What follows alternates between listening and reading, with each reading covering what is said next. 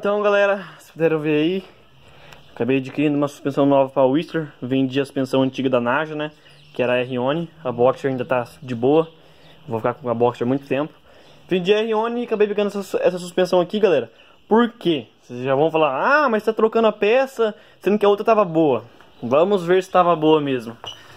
E aí galera, será que tava boa? Ó Quebrou Já era já era, já era. Quebrou no meio do arco. Suspa aqui. Não aguentou o rolê, né? É... Acabei adquirindo a suspensão aí. Pra quem não sabe, galera, isso aqui é uma GTK Chronic. GTK Chronic. Ela tem 150mm de curso, né? Tem regulagem de trava e de compressão aqui. Aqui embaixo tem regulagem de retorno. E aqui, que é o mais interessante dela, regulagem de curso, mano. E ela é, é uma suspensão a mola, não é ar, não. Regulagem de curso. Você, ah, mas a suspensão de, de Dirt Jump Street tem que ser 100mm. Então, mas eu, a, o diferen, diferencial dela é essa regulagem aqui, galera, se eu for girando, a suspensão abaixa até 100mm. Então ela vai de 150mm até 100mm o curso dela. Pra quem não tá entendendo, daqui a pouco eu vou fazer um videozinho mostrando o funcionamento dela e é, colocando ali o demonstrando a regulagem de curso. Deixei lá o tona por enquanto para mostrar para vocês. A bike ficou bem mais bonita, a suspensão ficou mais bruta, lógico, né? Ela é mais leve que a outra, mesmo sendo mais bruta e mais grossa, é mais leve que aquela, bem mais leve. Eu senti que a, a frente da bike ficou leve. E é isso aí, galera. Agora eu vou demonstrar o funcionamento dela para vocês. Então, galera, vou mostrar o, o funcionamento da suspa. Então vamos deixar ela com retorno no mínimo. Aqui ó, tá no mínimo. É bem macia, ó, bem macia zona. Aí dá pra colocar aqui o retorno no máximo. Pra ver que ela não dá aquele tiro mais, né? Deixar na metade ali. Assim.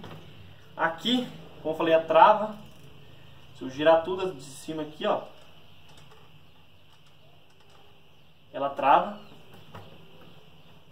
Não desce nada, né? Aí tem a compressão também, que é só soltar um pouco, ó, soltar um pouquinho. Ó, tá bem mais dura, como se fosse uma compressão mesmo. Soltar mais um pouco. Deixar no mínimo. Sim. É, como se fosse uma compressão. E agora a parte mais da hora, galera, que é a regulagem de curso. Aqui ela tá no máximo, ela tá com 150 milímetros. Agora eu vou abaixando o curso dela pra vocês ver a suspensão ir abaixando. Vou girando aqui, ó. A suspensão vai abaixando o curso automaticamente.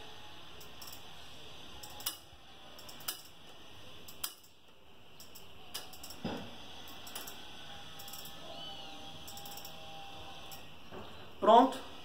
Agora está com 100 milímetros de curso, se puderam ver, ó. 100 milímetros de curso.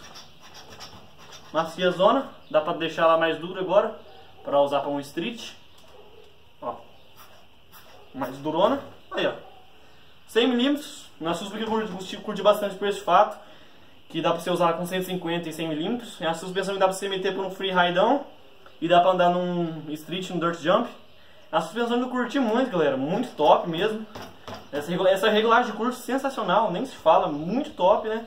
Uma coisa muito diferente. Mas aí, galera, ó, como ficou a bike.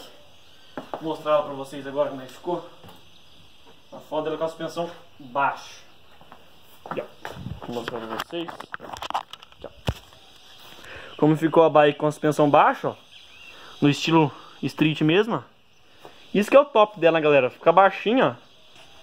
Ela é Grossona, braba a suspensão, muito top, velho, muito top. Gostei pra caramba da suspensão.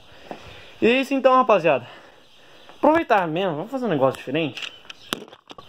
Tirar a suspensão velha daqui. Quebrou mesmo? Se fuder. Tentar acertar um bar galera. Vamos ver se a suspe é da hora mesmo. Vamos ver se vai sair bem. Desenrolar aqui. Vamos lá. Ah, moleque, de primeira. Isso aí, rapaziada.